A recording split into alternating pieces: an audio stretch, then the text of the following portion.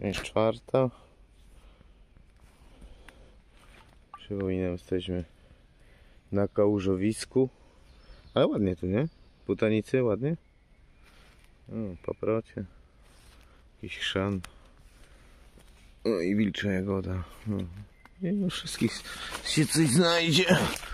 Lepiej tym, jak Stachura śpiewał. Czy to mówił, śpiewał. Ej, pod wielkim dachem nie ma. No i tam przejdziemy sobie na drugą stronę. No.